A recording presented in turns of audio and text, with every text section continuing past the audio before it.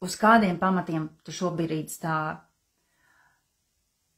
Ir tāds moments, kur cilvēks, oi, man dzīvē tik daudz kļūdu, tik daudz kļūdu, un, un tas nebija pareizi, un šis nebija pareizi, un tur attiecības negāda, tur um, darbs ne tāds, un izvēle ne tāda. Un, un ir tāda ideja, ka man ir jāatsakās no pagātnes, ok, es dzīvoju šodien, viss tas, kas bija pagātnē, tas bija nepareizi. Un caur šo uztveri īstenībā tu sagrauj savus pamatus. Caur šo uztveri tu, tu jutīsi, ka tev ir smilta zem kājām, ka tu nespēji stingri stāvēt.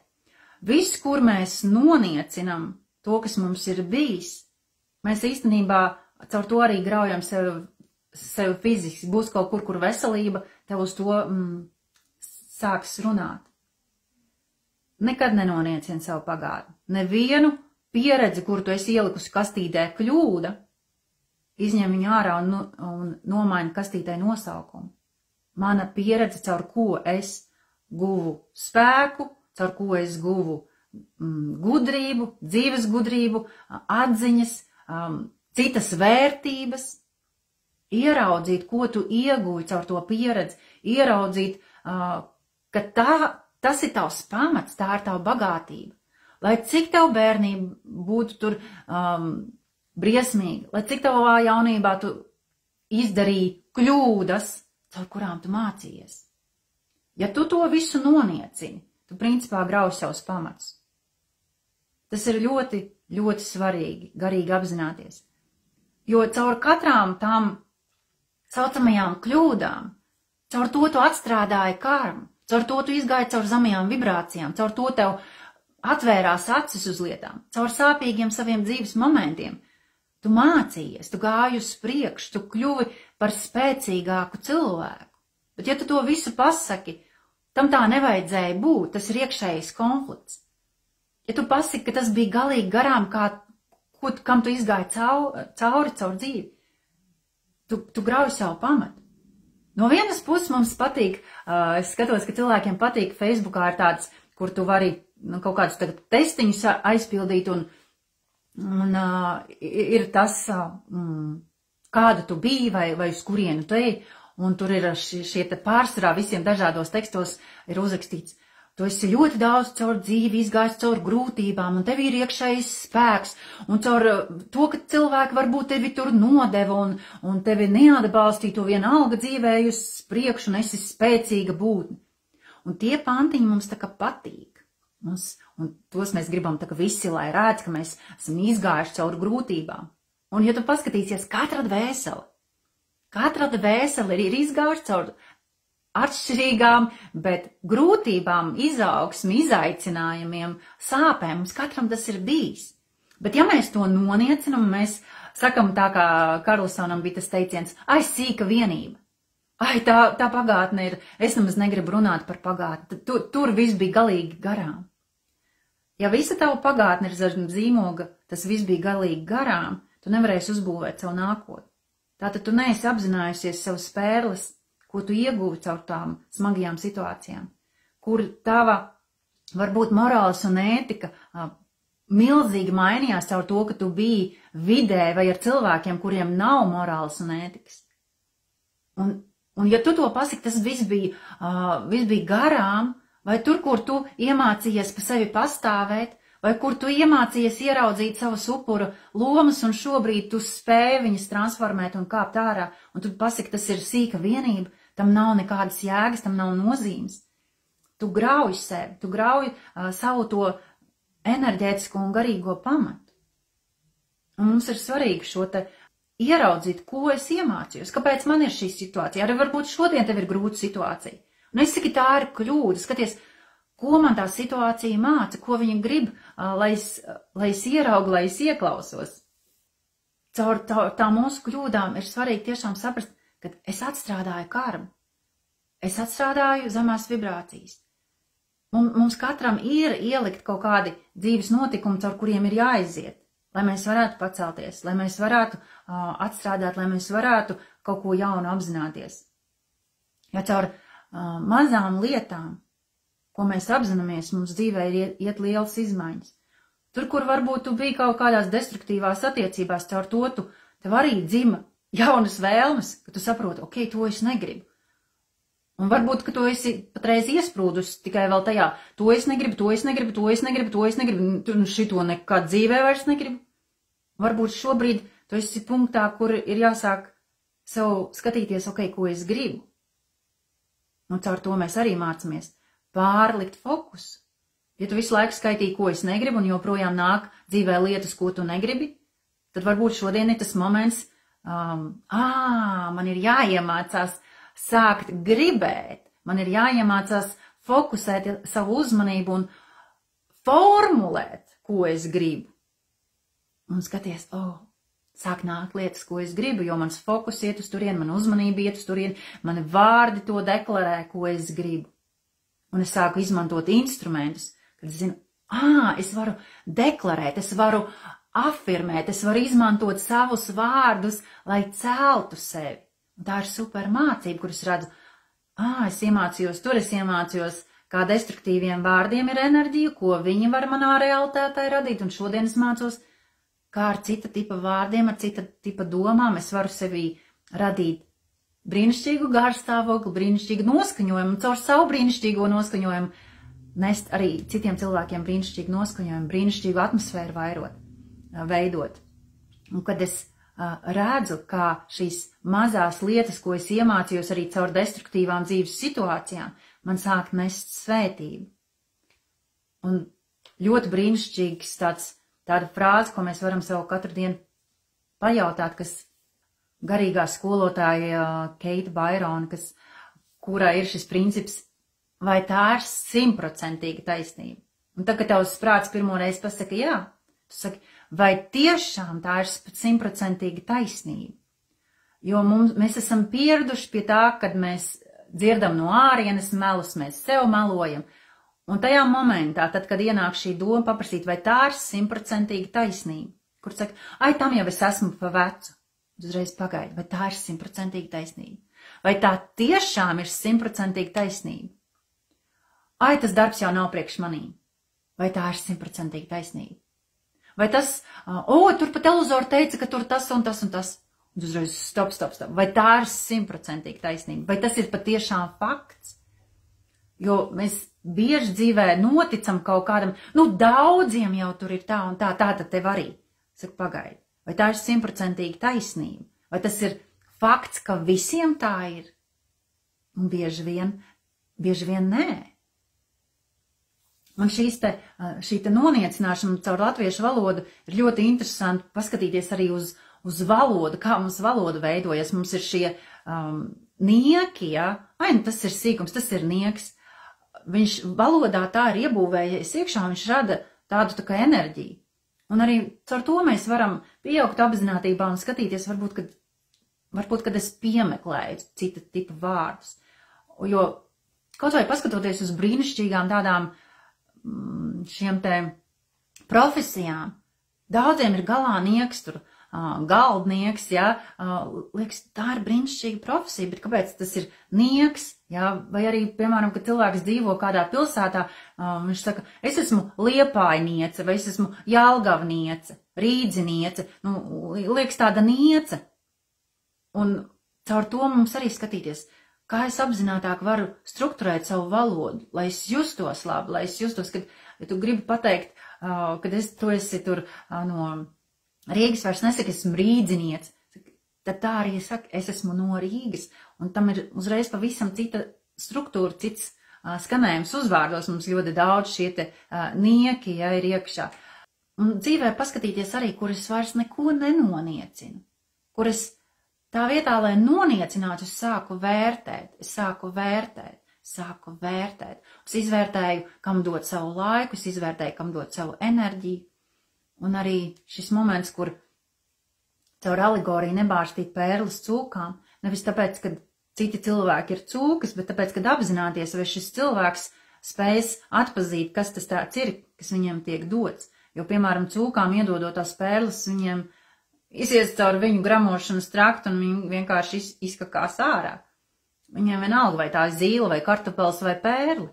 Un tāpēc ir šis moments, kur mēs varam caur savu dzīvi apzināties, vai mēs neliekam savu lielo, plašo redzējumu cilvēkam, kurā ir ļoti uh, mazs tilpums. Un tas būs pretējs efekts. Es, es caur savu uh, tādu atvērto sirdi arī šo te visu laiku mācos. Visu laiku mācos, kur, kur skatīties, vai cilvēkam ir vieta tam, vai viņam ir vieta tam, ko es viņam varu iedot. Ja cilvēkam nav jautājumu, viņš neko nemeklē, viņš nezina, tas būs tā, ka tu viņu ar milzu šalti aplai, ar, ar, ar pērlēm, ar vērtīgo, un viņam tas ir viņa mazajā spainītī, tas ir kā lavīns, kas notiek, nē, tas ir vispār pat traku, tu, tu ko, tas ir garām. Tikai tāpēc, ka nevar, nevar lielas lietas, lielas vērtības, lielu ētiku, lielu uh, sirdi ielikt mazā, mazā spainītī. Un uz to nav ko apvainoties. Vienkārši mums katrā situācijā ir jābūt apzinātiem, ko, vai, vai ir vieta tam.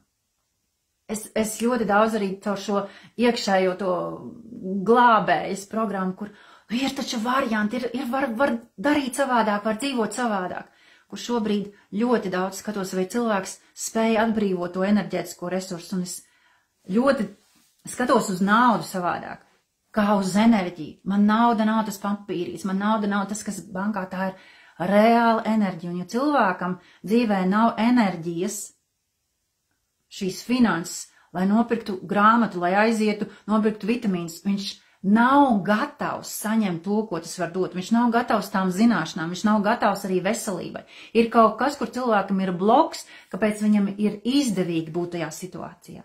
Kāpēc viņam ir izdevīgi būt ar to slimību? Kāpēc viņam ir izdevīgi būt mm, um, situācijā, ka viņam varbūt nav par ko nopirkt ēst, tāpēc ka viņam nav enerģijas. Tas nav tas, ka visumā trūkst resursu, ka visumā trūkst naudas, ka visumā trūkst uh, pārtikas. Tas ir tas, ka cilvēkam ir limitējoša domāšana, viņam ir kaut kas, ko viņš nav apzinājies. Viņam ir maziņš trauciņš, kurā nevar ielikt vairāk finanses. Viņam ir maziņš trauciņš ar veselību, kur viņam ir izdevīgi būt tajā mazajā trauciņā. Un tikai tad, kad cilvēks patiešām grib to, viņš, viņš dabūs ar vien vairāk un vairāk un vairāk, viņš spēs to savu situāciju risināt. Es to sastopos ļoti daudz, kur liekas, nu jā, un cilvēks saka, viņš ļoti, ļoti, ļoti grib, un viņam tur nu, tāda spiedīga situācija. Un es esmu savus kursus ļoti daudz iedavusi, kur liekas, jā, tas cilvēkam palīdzēs. Viņš, viņš tulītās ies un darīs un praktizēs. Un es ieeju back office un redzu, ka cilvēks nav izdarījis neko. Neko nav izdarījis. Tāpēc, kad pirmais solis ir cilvēkam vispār apzināties, Vai es esmu gatavs no tā kāpt ārā? Vai es esmu gatavs kļūt vesels? Un kā mēs to varam, kā mēs to varam patestēt? Jo, jo mums, es par to esmu daudz runājis par šo te veselību, ja cilvēkam ir kaut kāda slimība, ir caur to viņš kaut ko atrisina. Bērni atrisina to, ka var neiet uz bērnu dārzu vai skolu, pieaugušie, ka var neiet uz savu darbu, un tād vēl mēs caur mūsu slimību kaut ko iegūstam. Un tad, kad mēs ieraugam, ko mēs caur to iegūstam, ir sevišķi uz bērniem interesanti paskatīties. Ja vecāki viņiem nedod uzmanību, tad, kad viņi ir forši, tur labi un prasmīgi, spējīgi, un tikai tad, kad viņi ir slimi, tad viņiem ir rūpes, uzmanība, tad viņi var kaut ko nedarīt, tad tu savus stingros grožus palaid bišķi vaļīgāk.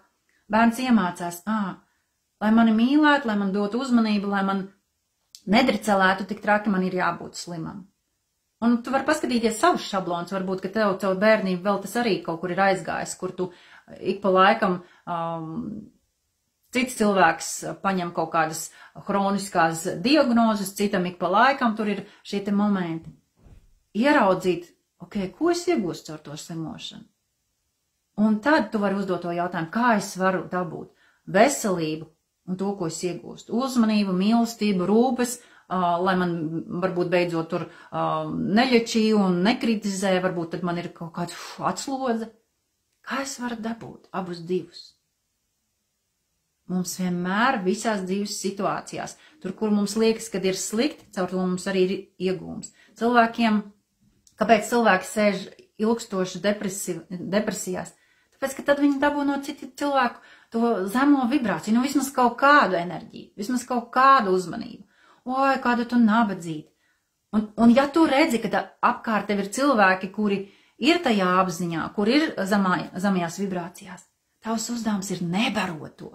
Nu, neiesaisties nebarot to, ja tu vari cilvēkam uzdot jautājumu, vai tu gribi kāpt ārā no savas depresijas, vai tu gribi kāpt ārā no savas nomāktības, vai tu gribi kāpt ārā no savas idejas, ka tev ir vientulība, no tā, ka tevi, tu nevienam neesi vajadzīgs, vai tu gribi kāpt ārā no tā. Un tad skaties, ko cilvēks saka.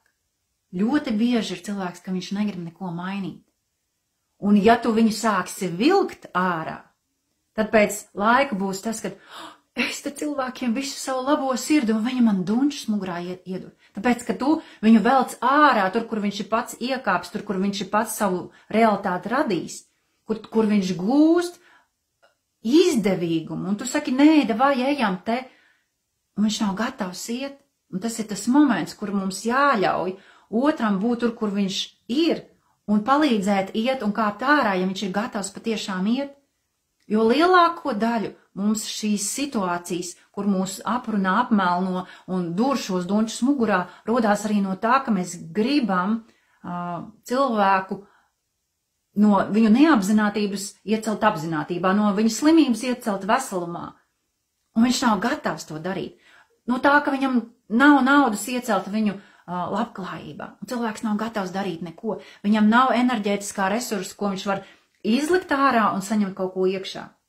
Tie ir garīgie principi, ka mēs kaut ko iesējam un mēs nopļaujam. Mēs samaksājam naudu un mēs iegūstam. Mums pasaulē vienmēr ir šī enerģētiska apmaiņa. Tu iesēji burkānu sēkliņu, tu pēc tam dabūsi lielu burkānu, bet tev ir kaut kas jāieliek. Tu nopērc uh, grāmatu, nopērc kursu, nopērc nodarbību, Tu ieliec savu enerģiju un tu iegūsti daudz vairāk priekš sevis, bet tev pirmā, pirmais ir jāiesēj. Pirmais ir jāskatās, vai man ir sēkla, ko iesēt, un ja tev nav sēkla, tad prasīt, kāpēc es negribu, lai man ir sēkla, kāpēc es sev bloķēju, lai man būtu uh, tie eiro vai dolāri, uh, lai es varētu iemācīties kaut ko atraisīt, Kāpēc es, kāds ir tā izdevīgums, ka man nav? Jo bieži ir tas, ka, oh, nu ja man būs, tad man būs tur tas jādara un tas jādara, un to es negribu darīt. Un tāpēc man ir vieglāk bloķēt šīs enerģijas, nekā kāpt pa solim ārā. Un katru momentu, kur tu gribi pasūdzēties, ka tavā dzīvē kaut kas nav, vai kaut kas ir, kas tev nepatīk skatīties, kāds tomēr tur no tā ir izdevīgums. Kāds man ir izdevīgums no tā? Un kas būs man jādara vai, um, vai ko man ne, nevajadzēs, vairs nedrīkstēs darīt, ja man tas izmainīsies. Jo visu laiku ir šīs divas lietas. Caur slimību arī ir kaut kas, ko tu vari nedarīt, un, un um, ko tu vari darīt. Un, ja tu ieraudzīsi tās abas divas lietas, ko tu tajā situācijā, man nav naudas, ok, ko caur to, ka tev nav naudas, tu vari nedarīt, un ko tu vari darīt. Un tad, kad tu ieraudzīsi, tad tu, tev radīsies šis jaunais, kvalitatīvākais jautājums. Kā? Kā es varu sagādāt savu finanses? Kā es varu uh, sev dabūt to, kad es sāku kāpt ārā no savas komforta zonas vienu soli? Tikai vienu soli. Viens solis ārpus komforta zonas izmaina visu tavu dzīvi. Mazie soļi, to, ko mēs sākam darīt, izmaina mūsu dzīvi. Mums nevajag mega lēcienus nekur taisīt. Bet šie mazie soļi izmaina mūsu dzīves. Un tur, kur mēs godīgi ieskatāmies, kur mēs ļaujam ieskatīties savā situācijā, savos blokos un ieraugam izdevīgumu, arī visās destruktīvajās situācijās ir izdevīgums. Ir kaut kāda pērle tajā, kāpēc tavā dzīvē tas ir. Tad, kad mēs to sev ļaujam izdarīt, tad mēs varam arī to visu transformēt. Mums ir jās, jāsatver, ka iepriekšējā pieredze, viņa ļāva mums kāpt augstāk, viņa ļāva mums kaut ko apzināties, viņa ļāva mums ieraudzīt, ieraudzīt savas destruktīvās programmas, ieraudzīt šīs maskas, caur ko mēs dzīvojam, tā, tā, tā ir vērtība. Ir cilvēki, kuri visu dzīvi nodzīvo, un viņiem nekad tāds jautājums nerodās. Viņi nekad nav ieskatījušies, viņi nekad neuzdod sev šos jautājumus. Varbūt man zemapziņā ir tādi bloki un tādas programmas, kuras rada man šos dzīves apstākļus. Un tā ir svētība izstrādāt savu kārmu, tā ir svētība iziet uh, un ieraudzīt uh, savus šos te šablonus. Tā patiešām ir svētība. Tāpēc mazas lietas dzīvē rada lielas izmaiņas. Ar to es šodien gribu noslēgt mūsu uh, tikšanos, un tu esi gaisma šajā tumšajā laikā. Radi savus instrumentus, ņem ārā savas zinību lādes, ko tu esi sakrājis pa visiem gadiem, un sāc viņus novērtēt, sāc viņus uh, atzīt, sāc ieraudzīt, ko tavas, uh, ko tu gribēji teikt par kļūdām, kādu svētību viņš šobrīd ienes tavā dzīvē, kāda personība tu esi kļuvis, cik spēcīgs cilvēks tu esi kļuvis, cik drosmīgs. Un ja tu esi ceļā uz to, un mēs katrs esam ceļā uz to savu, ko mēs gribam sasniegt, vērtē, vērtē, novērtē, atzīst savus ieguldījumus, savus centienus, savu pagātni, savus talantus. Neko nenoniecina vairāk, neniekojies ne uz savu dzīvi, ne uz citu dzīvēm lai mēs varētu iet ar vien lielākā spēkā, enerģijā, labklājībā un ienest ar vien lielāku gaismu šajā pasaulē. Paldies, mīļie! Tiekamies! Atā!